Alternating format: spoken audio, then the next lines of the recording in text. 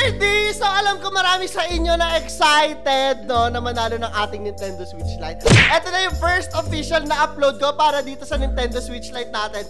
Unang-una sa lahat, no, ito po, yung Nintendo Switch Lite, no. Ah, papakita ko lang. Para sa lahat ng mga gusto sumali, bago natin umpisahan to, of course, mag-subscribe, notification bell kayo dito para updated kayo sa lahat ng mga nangyayari sa giveaways natin, saka mga uploads natin. Pangalawa, mag-subscribe and notification bell kayo sa Claro the Third Stories. No, yan yung rule para makasali kayo isa sa mga mechanics. At kay Dayan, po yung nagbigay sa atin ng mga giveaway nito at siya ang mamimili ng panalo ng Nintendo Switch Lite.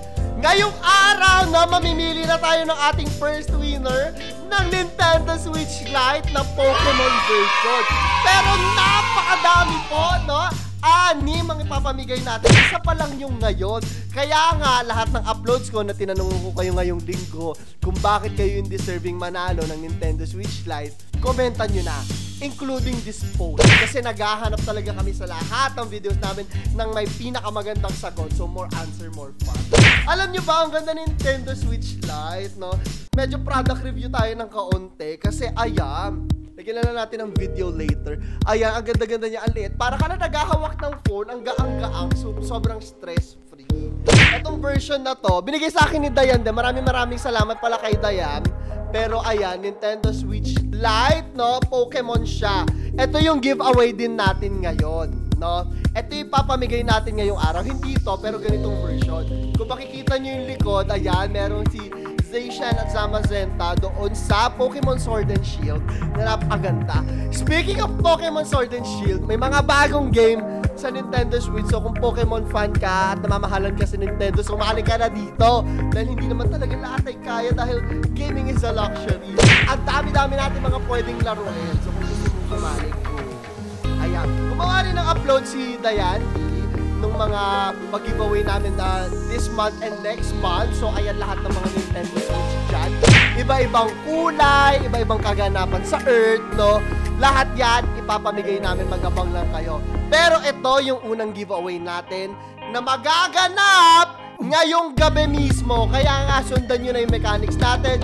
Kung hindi nyo masyado naiintindihan, nasa pin comment sa baba. Basta lahat ng tinanungan ko kung bakit kayo deserving manalo ng Nintendo Switch Lite ilagay nyo lang yan sa ilalim. I-comment nyo na at hahanapin natin. At saka actually marami pa akong mga giveaway sa mga susunod na araw. Konting update lang, no? Two weeks ako nawala sa YouTube din. Pasensya na po kayong lahat. Alam ko marami nag-expect sa akin. Pasensya na. Maaga dapat na ngayong February talaga yung giveaway natin kasi two weeks ako nawala. Pero that being said, no, sana kayo mag-subscribe din kayo doon sa aking Claro the Third Stories. So far may tatlong uploads na kami. Ang saya-saya. Baka mag-fourth upload din ako ngayong araw pagkatapos nito. So. Sana supportahan nyo rin yun the same way na sinuportahan nyo to. Wala naman na akong masyadong masasabi pa bukod sa ang ganda ng giveaway natin ulit. Ito yung box ito yung mismong Nintendo Switch Lite.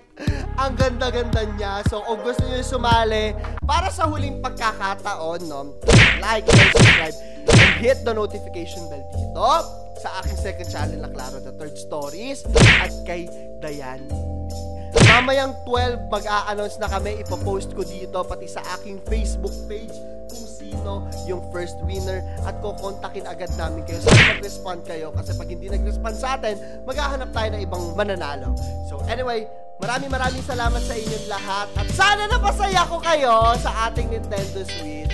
Huwag nyo kalimutan na supportahan din si Dayan. Diha, mag-subscribe kayo notification bell sa kanya. Malay mo, magpag-giveaway pa siya ng mas marami. Malay mo, Nintendo Switch na talaga na ano yung regular, di ba?